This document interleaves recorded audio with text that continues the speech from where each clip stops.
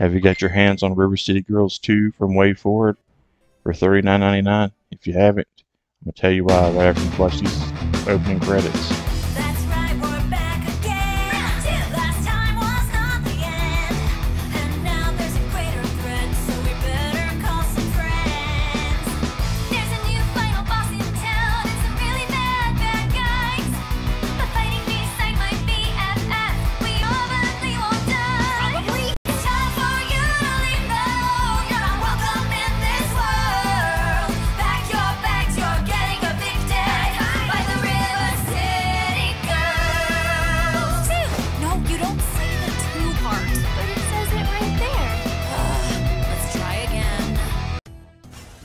WayForward is just uh, one of my favorite publishers and develops of retro games. Uh, like Modern Era. Uh, I, I love all their games. Shantae, uh, their first River City Girls. Just every game they release, I just fall in love with instantly. And I did with this one as well. Look at these opening uh, credits, like this story. It's delivered in comic book form, but there's also uh, story by talking to the characters too, and they have really awesome voice acting, and I'll show you a little bit of that as well. The uh, the combat's just amazing. You can unlock so many different moves, and there's weapons just everywhere. And you can play this alone or with a friend. I didn't get to play with a friend, but then I can imagine that this game would be a ton of fun to play with someone else as well. Um, it, it really reminds me of the original game, but also the original NES game. They uh, do a lot of tributes to that as well. Um, this is just an addictive game that you know I just couldn't stop playing. Let me give you a little taste of how, the quality of the voice acting and development in this game. Take a listen to this. Miss Megumi! What were you children doing out of class?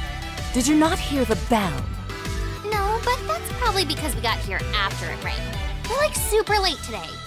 Not helping. Hmm. Hurry to your desk and watch your. See, you can't ask for much better than that.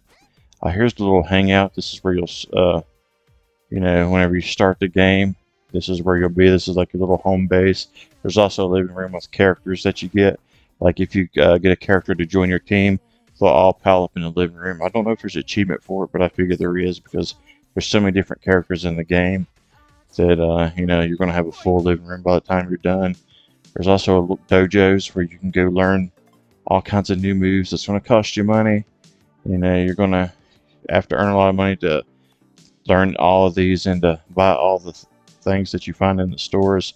But it's well worth it, and uh, it doesn't take that much to earn money. There's little exploits throughout the game areas that just give you more money than others, and that's really cool when you learn a new move. And some of them can be, uh, you know, help you a lot.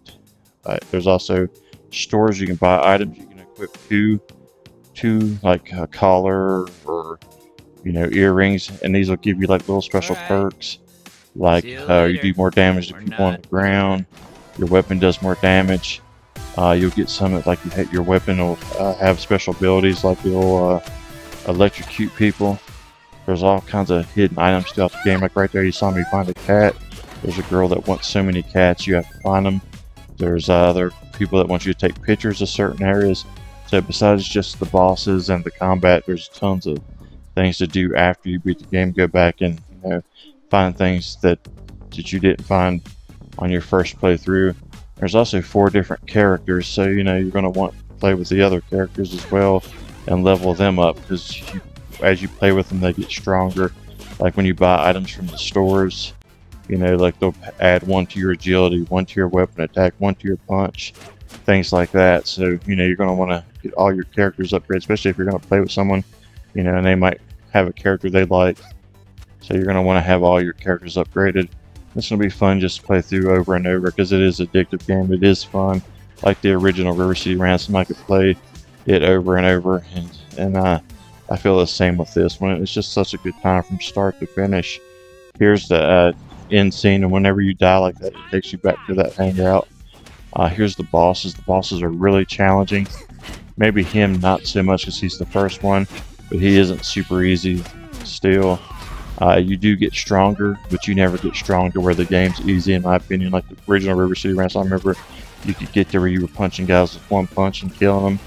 it doesn't really feel like this. This one stays competitive all the way through. Uh, the bosses are really cool because you have to learn, you know, all their attack styles to be able to beat them. Just can't go in there and, you know, start throwing punches and kicks and uh, beating them easy. You're to have to, you know, learn their move sets. I thought this was one funny because Technos that made River City Ransom back in the day, you know, they also made Dodgeball. And there's little side quests like this where you're playing Dodgeball. There's more than this. I don't want to spoil them all. But there's another one where you're like uh, stopping bank robbers. You, know, got to keep them from getting out the vault door. And uh, that's really fun as well. But there's a bunch of those. So, you know, there's all kinds of stuff in this game to do that you, besides just the uh, beat 'em up parts of it. You have a phone that has like your map, it has like a social media. It uh, was used to also like equip your, you know, your items that you purchase. Uh, and like the social media, it's funny because there's like characters in the game, you know, and they'll post things on there and you can read them. It's just a really comical game and just a ton of fun and super addictive. It is hard game, but it's not, uh, you know, challenging to where it's not fun.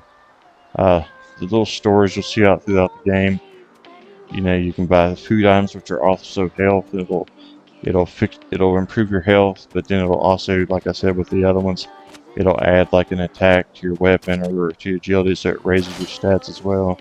There's all kinds of little hidden areas like this that you wouldn't expect to be there that you'll find.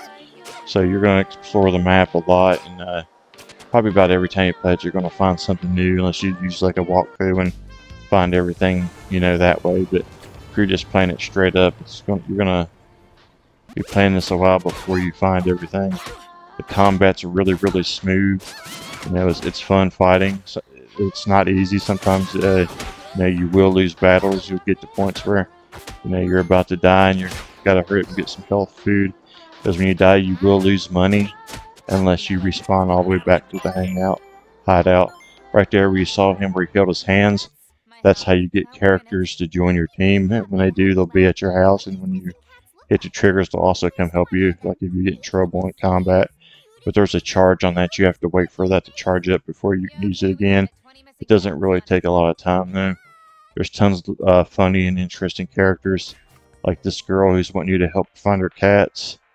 You know, they're hidden throughout the levels. So, uh, in my opinion, this is one you have to grab if you're looking for co-op games. If you're a super beat 'em ups fan, this game right here is uh, one of the best games of 2022. Uh, I would say it's probably my top five game I've played last year, and uh, it's de- definitely worth your time, definitely worth your money. Definitely grab this one. Uh, this is probably one of my favorite games that I reviewed from last year, and one that I highly recommend. So I'm giving it a 9.7 out of uh, 10. I think I gave the first one a 10. I like this one almost just as good. So definitely get your hands on this one. Definitely let me know in the comments if you loved it as much as I did. Thanks for watching, guys. Thanks for support. You know, and until next time, as always, see you in those leaderboards.